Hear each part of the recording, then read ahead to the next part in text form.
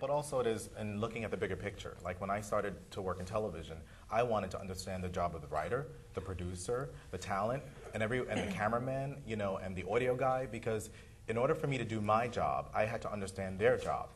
And I took a personal interest, and I learned how to write, and that's how I learned how to um, write for magazines and offer my commentary, and, and also understand the history of television and, and, and the different angles, and if some, there's, a, a, you know, if the shot is not properly lit, if we're on location. So it's taking